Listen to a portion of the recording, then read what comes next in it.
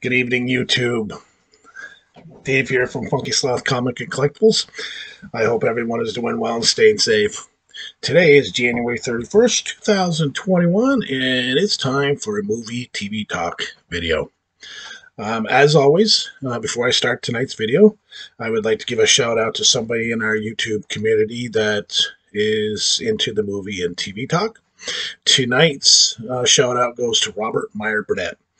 I love Robert's channel. He has videos just about every night, sometimes a couple a day.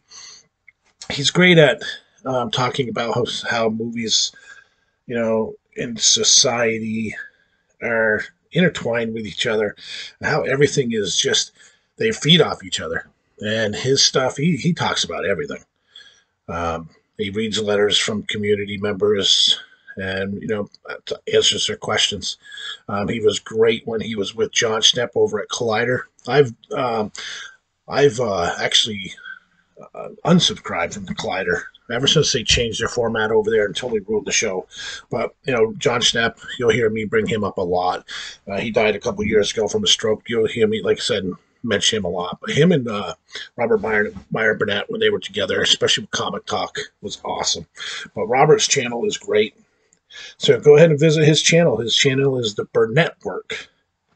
The Burnett Work. So now on to tonight's video. so I had my talking points in order for tonight. But then something happened. So I'm going to start off where something happened.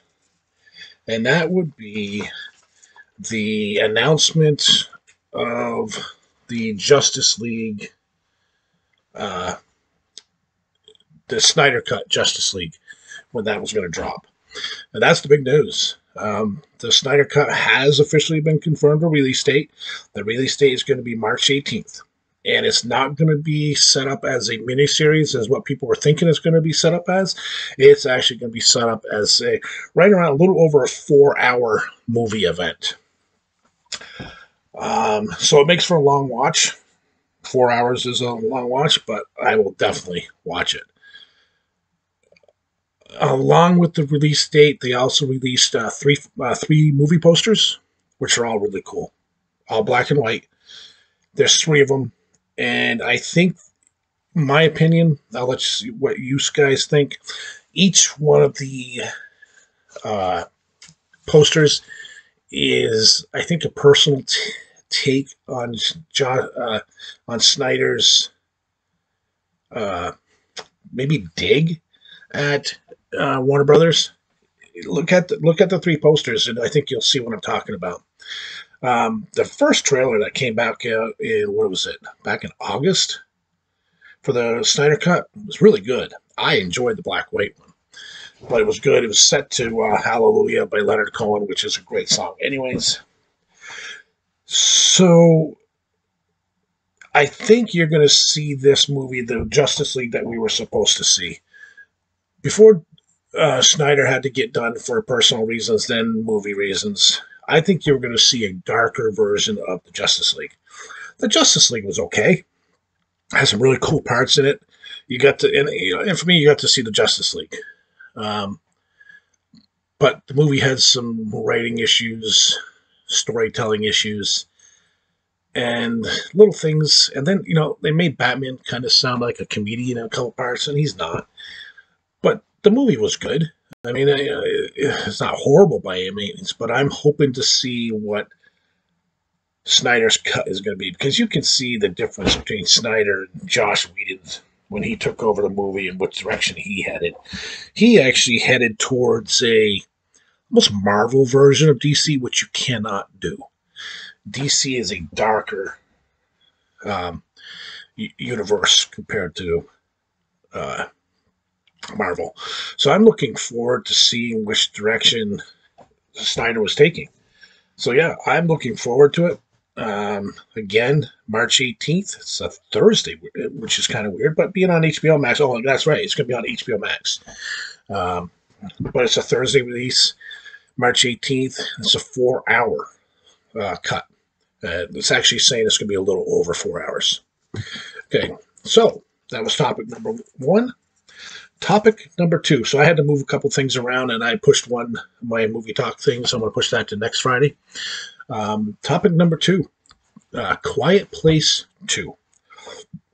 Looks like Quiet Place Two has been moved again, and now they're saying the release date for the movie is going to be September 17th of 2021. Uh, Quiet Place, which came out in 2018, was one of my favorite movies of that year. Uh, it was just, it was new, it was fresh, it was just the way they did everything. It was just awesome. Uh, and I've been looking forward to uh, Quiet Place 2 for some time since then. Uh, the first trailer for Quiet Place 2 was really good. Um, I'm looking forward to see what uh, John Krasinski does with part two.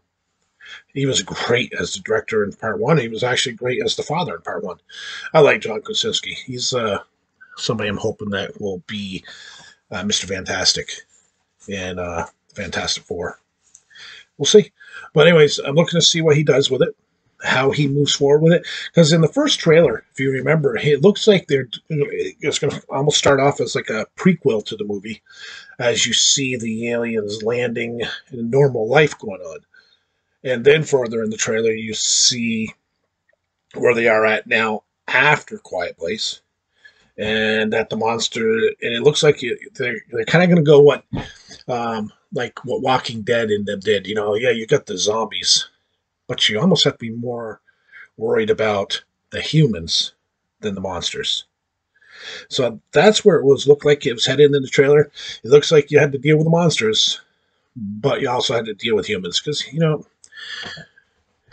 the the greatest horror out there is other humans like it or not, that's the way this world is. Uh, but that's the way it looked like it was headed. So I'm looking forward to, to Quiet Place 2. Um, yeah, it's just uh, the first one was such a good movie. So I'm looking forward to part uh, part two. So topic number three, Top Gun 2. Uh, that was brought up in the uh, news outlets this week it looks like Paramount Paramount turned down um, two offers, one from Netflix and the other one from uh, Apple TV, who has both of those um, have all the money in the world to play with, and I think Apple probably has the most money. But they're trying to get their own stuff and release on it. But looks like Paramount turned, both Netflix and um, Apple down to buy Top Gun 2 to go directly to streaming. But Paramount I think is sink or swim. They are going to push this to the big screen. Um, Paramount believes they have a billion dollar hit on their hands. I see a billion dollars, but it's going to be close either way. The, the first one was what, 36 years ago? 34 years ago, something like that. Here. I mean, you're looking at the release date back in, I think it's 86. Is that 86? Yeah, 34 years ago. Yeah, 86. Have, is there a lot of people look out there looking forward to Top Gun 2? I'll watch it. I'll do. I'll watch anything that has to do with military in it, especially naval, naval aviation. Uh, love the first one because one of my favorite planes of all time was the F 14 Tomcat. Um, but, anyways, let's go back. So it looks like the release date. Uh, the question is, does Top Gun 2 stay at its release date, which is July 21st, uh, July of 2021? I don't know. That's going to be a toughie. I, you know, the the the the immunizations are moving, but they're moving at a little slower than what everybody thought they were going to be. We go into February tomorrow, so that gives you what? February, March, April, May, June, July, six months? Maybe July 21st, 2021? I hope so. But I don't think it will. There's a lot of other movies are moving the release date. Even even movies that are like set themselves up for summer releases have moved themselves to later in the fall or pushing it to 2022. I was going to read off what the 2022 release dates look like, but it's a list. It's I mean, everybody's moving to 2022, and it's going to be just such a cluster of movies. So maybe they do try to stay in 2021. I mean, it's a gamble for Paramount. Um, as I think it has a 150 million dollar budget. On that on Top Gun 2. So you add probably another 150, 200 in, you know, advertisement and all those other things that, you know, people don't think about it. So you're at 350, and I think uh, Apple and uh, Netflix were going to buy it for like around 250. So I think they're just willing to take the chance on the big screen. Uh, I mean, if you, if you make, if you have a billion dollar movie, you're going to profit 700 million. If you sell it, you don't, you, might lose money. So I think that either way, hot, hell or high water, they're going to push it to the, the, the big screen, which that's a movie that has to be on the big screen. Um, either way, I'm going to go see it. You know, even if it's on uh, the big screen or if somebody buys it up and puts it on streaming, but I'll definitely watch it. Um, looks like it, pretty much everybody that's you know still alive, of course, is going to be in the movie. But you know, I'm looking forward to it. So, what is your thoughts on uh, Top Gun 2? Let me know. As well as let me know what your thoughts are on the Snyder Cut. That that's big. That's big. So my final uh, thing I'm going to talk tonight, talk about tonight, is WandaVision, episode four. It was awesome.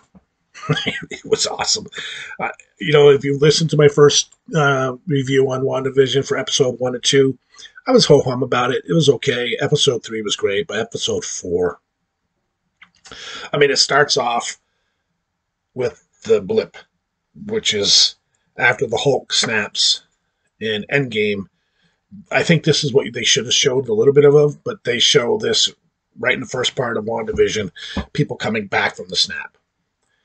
Um, so you get to see Monica Rambeau reanimate sitting next to a hospital bed. That hospital bed, five years previous, would have been her mother. If you remember, was in Captain Marvel. You, she was suffering from cancer, so that hospital bed would have had her in it. But when she re- reanimates, reanimates, there's nobody there. The bed is made up. You see her re- reanimate into the the chair, and she's like, "Okay, what's going on?" Runs out, and you see people reanimating everywhere. So it was good to see the reanimation of people. I would have loved to have seen it in a bigger scale because what happened with people that there's still going to be a lot of people that died from the snap that couldn't have come back. You know, people in the helicopters, plane crashes, that sort of stuff. Okay, so then we go to where she worked, which was which is which was was Sword. They can't she can't get into the office, so they let her in, and then they put her send her out on her first assignment to work uh, why the town of Westview is there, and it shouldn't be and the way they're thinking about it. And there's missing people that are from this town, and that's when you meet up with uh, ah, what's his name, uh, Agent Wu, If you remember him from the Ant Man series, and one of the good parts about this movie, he actually does the card trick that uh, Ant Man was trying to show him in the Ant Man movies. He couldn't do it, couldn't do it, and he actually does it when uh, uh, Monica Rambeau comes up. So this, you know, it's just a kick back to the movies, which they've actually done a great job of in this in this series so far. So she sends up a drone to go towards the, the, the town and it hits the force field disappears. And that drone was actually in episode one if you remember monica she picks up a helicopter. Well that's a uh, uh, it's, a 50s version of that drone the helicopter. And it has the sword thing on it. So she sees it disappear so she goes over and touches the force field and she keeps touching it and then she gets sucked in. And then that's where you see her character appear in uh, WandaVision, her vision, because so after she uh, is sucked into the force field, Wu goes back. They set up his sword, sends in this big team. And this is where, if you remember from the very first Thor, which is a great movie by the way, they bring back Darcy Lewis, who is one of the tech experts they bring in a bunch of tech, tech experts to try to figure out what's going on, what's this force field, what's it doing. So Darcy figures it out that it's they they can monitor this thing with old TVs because it's set up with the same radio bands as old TVs. So now for the rest of the the sitcom, you are pretty much watching her life as a sitcom from the agent's point of view. So you, you see the last four episodes in this episode through the the eyes of the sword members that are there. You also get to see Vision, I think, starting to figure some stuff out, which is kind of strange because he's dead. If you remember at the end of Endgame, which brings you to a really, really kind of a freaky scene. Is Wanda turns around and Vision's standing at the top of the stairs, and he's that gray figure you saw at the end of Endgame with the, the dead white eyes and the big hole ripped out of his forehead. So that was pretty pretty freaky. Then she shakes her head. She goes back into this vision again, talking. So, you know, in the voice you heard over the radio, there was a couple scenes. Remember in episode two, they were sitting there. They were kind of doing that whole Stepford Wives scene where they're all sitting around eating all the wives, and there's the voice on the radio Who's doing this to you? Who's doing this to you? Well, that's Agent Wu, And they actually show him saying that when they figure out they can transmit in. And hopefully somebody inside eh, can receive the message. So, and that's pretty much where they let, leave off on it. And it's going to be interesting to see where they go next. I have a couple my ideas what's going to happen. One of the neighbors' name is Agatha. She's the nosy neighbor. So I'm wondering if they're referencing Agatha Harkness, which is a witch in some of the Wanda and Vision comic books. She was actually a nanny. If you remember, she was actually a nanny to uh, Reed Richards. So, is she in this doing that? Or are you seeing maybe could it be Mephisto coming in as a villain? I don't know. I'm thinking that you're going to see that Wanda is kind of like a villain. This is my opinion. I mean, because I can also see them going with, if you remember the comic book run, The House of M. Wanda's reality, then the, you know the kids, the twins um, die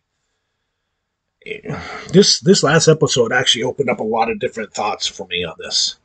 Um, I got my new shirt, my Grogu shirt. He's wanted. um, but yeah, it was a it was a really good episode.